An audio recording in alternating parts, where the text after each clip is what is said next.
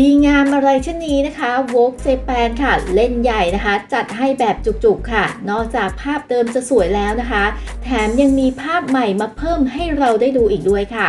และเท่านั้นยังไม่พอนะคะ วันนี้ค่ะจะมีสัมภาษณ์พร้อมกับแฟชั่น movie นะคะ ให้เราได้ดูอีกด้วยนะ โอ้ยแค่คิดก็ฟินแล้วนะคะ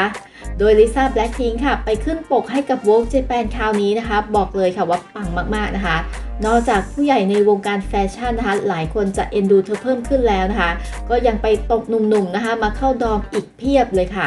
เห็นนักร้องแรปเปอร์คนดังชาวอเมริกันเกาหลีนะคะที่ชื่อว่าพีเนียลชินค่ะ ก็อดใจไม่ไหวนะคะ เข้ามากดไลค์ให้กับปก Vogue Japan คราวนี้ของน้องลิซ่าด้วยนะและเท่านั้นก็ยังไม่พอนะคะ เมื่อคืนนี้ค่ะ Vogue Japan นะคะ ก็ยังมีการมาปล่อยภาพอื่นๆ เพิ่มเติมอีกด้วยนะคะ ซึ่งลุคลุกนี้ของลิซ่าค่ะพูดเลยว่าสุดยอดมากๆนะคะ มองทีไรค่ะก็ได้ฟิลนะคะลูกสาวเจ้าพ่อแก๊งยากุซ่าเลยเนาะเนี่ยถ้าได้ดาบสักเล่มนะใช่เลยค่ะ แล้วก็เห็นแฟนๆนะคะเขามีเป็นวาดเนาะเป็นภาพการ์ตูนนะคะเรียกว่าก็เหมือนน้องลิซ่ามากๆเลยอะค่ะ ลิซ่าเนี่ยเปลี่ยนได้หลายลุคจริง ๆ เลยนะคะ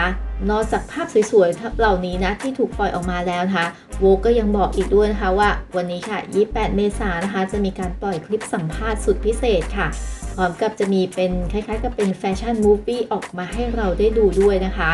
งานนี้ค่ะก็ขอบจอรอดูกันเลยนะคะ ซึ่งเดี๋ยวถ้ามีช่องทางในการดูแล้วแอดจะมาแจ้งให้ทราบอีกทีแล้วกันค่ะ ตอนนี้ก็เตรียมตัวให้พร้อมนะคะ เห็นว่าวันนี้ค่ะเขาจะเอามาใช้ให้เราได้ดูนะคะ ส่วนตอนนี้ก็ดูภาพใหม่ๆเนาะที่เขามาปล่อย